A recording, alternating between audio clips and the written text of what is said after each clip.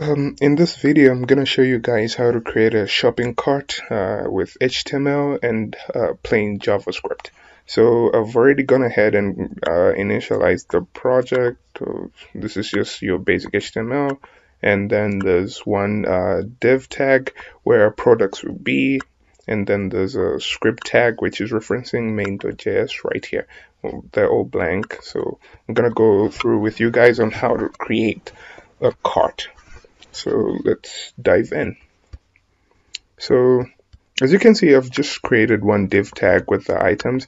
I'm going to initialize everything from the JavaScript because in most cases you'd have your data coming in from your backend and you push it into the front uh, to the front end so that your users can see. All right. So I'm gonna go ahead and say let um, rather let's call it products. Equal to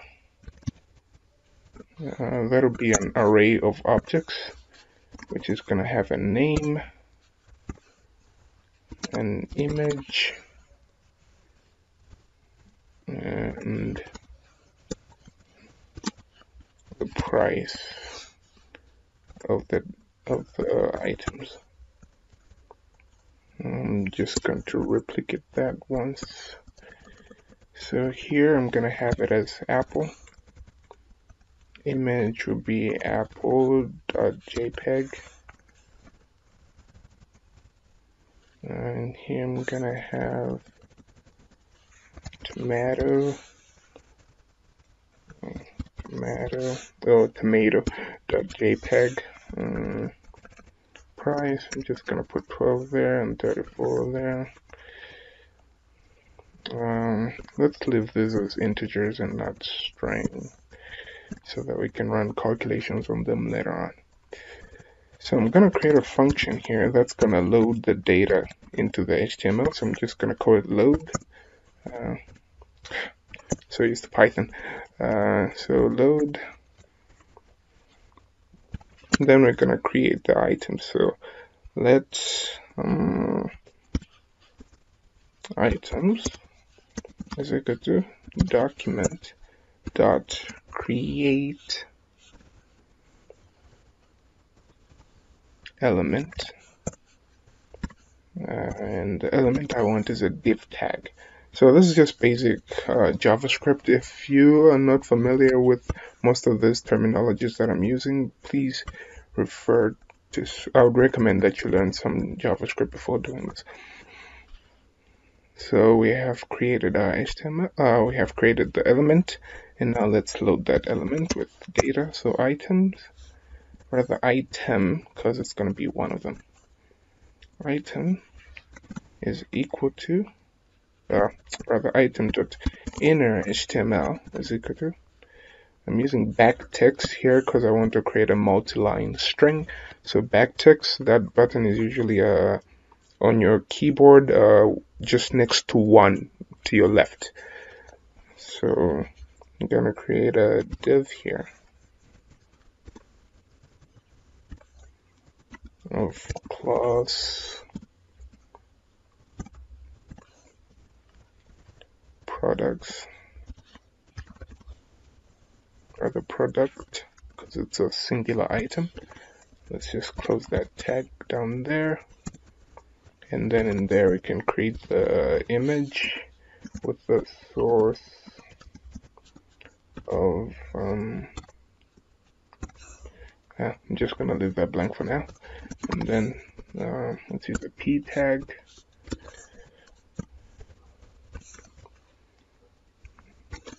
With the with the class of name. I'm gonna leave that blank as well. And then another p tag with the class of price. Now, we're going to use this to load all the items into the HTML. So dynamically, JavaScript is going to load them right here in this space. Okay. So for them to load, we're going to load them from the array that we have up here. Right. So to make it easy, we don't have to call this function over and over again with different parameters. We can just create a loop right inside here to do that for us. So I'm gonna call products.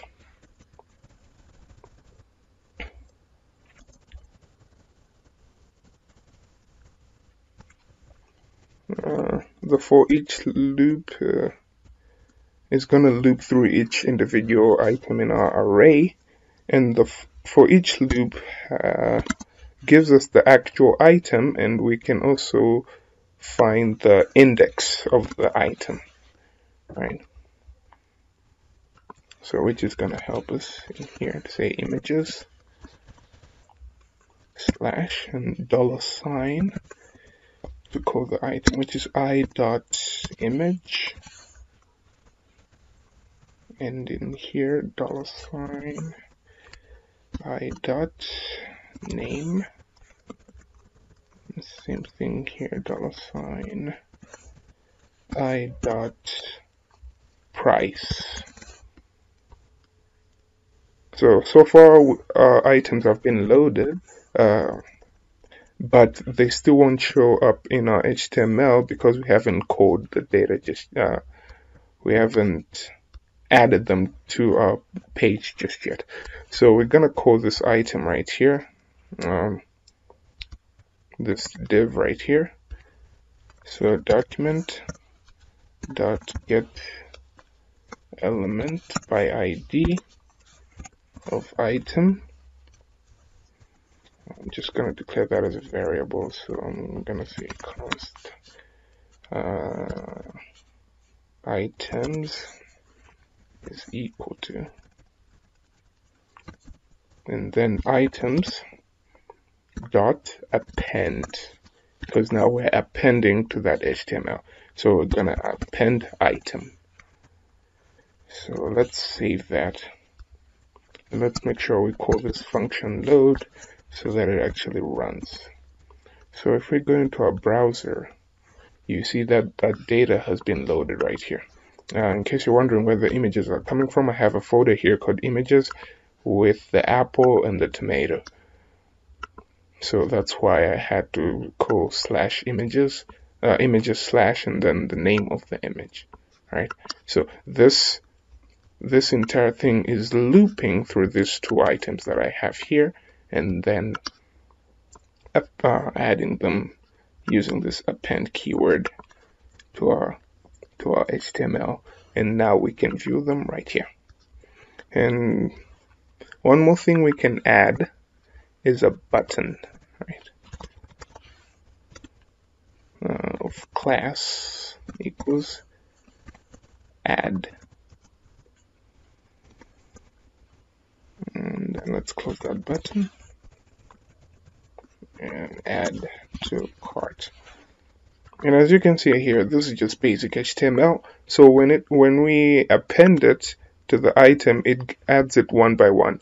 Why we're not saying uh, item, something like item dot inner HTML, rather items inner HTML, it's because every time we add it, it's it's going to replace. So append kind of just adds up onto what already exists, right? So even if we can go to our console here, or rather our element here, and we check the items that we have, you see that there are two items, right, which were dynamically injected by JavaScript. So class art add. Now, one more thing that we need to do is um, item dot get elements by class name add and then here we're gonna call the uh, element 0 dot add event listener I'll, I'll explain this in a bit. I'm just going to type it out so that we can see what we're doing. And then, and I'm using the ES6 convention for creating a function right here. I would have gone uh, function and then remove this and then that's just the same thing but I'm using the ES6 convention. And then from there what the event listener will be is add to cart so it'll be a function and it'll be adding the index this index right here. So let me go ahead and just create that function which will be add to cart. So just gonna copy that paste it right there. And then the index as the parameter. And I'm just gonna leave that as blank for now. We get into that later. Excuse me. So now why I'm calling item it's because of this item that we're adding to the HTML and I'm using get elements by uh, class name instead of get element by ID because for some reason uh, ID doesn't work because it's not initialized by the time that uh, this this data has been added. So I'm using get elements by class name add so that I can actually grab the item. And to see if this thing is working I'm just gonna console log here console.log um, let's just print the index. Right. And let's go straight to our HTML, go into the console, and if we click add, you see zero there, and if we click add, it's one, meaning that our buttons are working. So we can click on the buttons and they'll show up exactly as they should. So we're going to be using this index to actually add the items to the cart that we're going to be creating. So far we haven't created the cart just yet. We just added the items to the to the HTML and so that the user can actually interact with the items and then from there we're going to add them to the cart. Now there are several ways of which you can add the items to the cart. Uh, you can use your back end, maybe post them to your database, and then the user has to fetch them from the database every time they want to see them, which is actually a safe way because you don't want your user to actually manipulate the data when you're sending, like when they're buying, they might manipulate the price and whatnot. But yeah. In this lesson, I'm just going to show it uh, by saving it to the local storage in your browser, right? So our data is going to show up in um, right here, application, local storage. So right now there's nothing, or rather there's there's actually something. Uh, I think this was saved when I was testing. Yeah, let's just refresh that. Yeah, so there's nothing, and so we're gonna go straight to our console and uh, rather we're gonna go straight to our script and have the items added to the cart. So we're gonna say uh, local storage dot set item um, gonna call it cart. Uh, for those of you who don't know what local storage is, it's just a storage in your browser. So it stores it locally in the browser. It's not accessible anywhere else but the browser and it's specific to the site that you're accessing. So if you create another project, it's not going to be accessing the, the same local storage. It's only specific to that site. That's why here you're seeing that it's referencing the same address as the one that I have up here. And to add an item to the local storage, and you use the keyword set item, and then the key of which you want to reference that item by, and then the actual data. And the data is always a string, right? So from here, uh, rather, let me not store the local storage. I'm just going to store the entire, yeah, uh, the index should do. I'll just reference the index, which should save us time. And then from there, I'm just gonna store the, the index.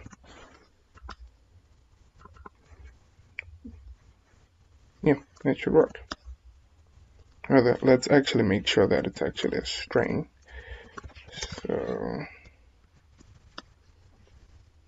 just parsing it there. And once the item is added, I'm just to pop up an alert that's going to say uh, do that. So it's going to be uh, products dot name, uh, rather products at the index of the of the item that we've passed in. And then from there dot name. And then just a message to say added to cart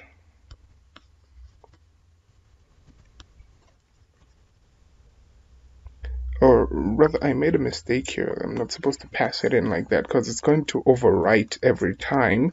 So I'm gonna create a, an array right here.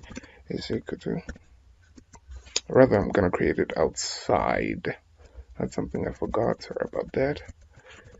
So let cart and then just just leave it blank. It should be fine oh why do I keep messing up today I'm not coding properly okay so cart dot push push and then we're gonna push in the index right so our card is to have that index. And then from there, I'm to say uh, index other. Because now we need to parse this entire array as a string, right? So we're going to say JSON dot stringify, which should turn our array into a string and then pass it in there. So this should work. Let's test it out. Let's click on add to cart. Apple added to cart. Okay. And as you can see here that it's been added. If we click on add to cart on the tomato, tomato added to cart. And if we click on OK, as you can see here, we have 0 and 1, which are our indexes for what we're doing so far, for our products rather. So yeah, so far our items have been added to cart. Now in the next video, I'm going to be showing those items in the cart and I'm going to add a little bit of CSS just to um, show this in a proper fashion and also yeah uh, how to show the total price of the items and how to remove the items from the cart as well. So yeah thanks for watching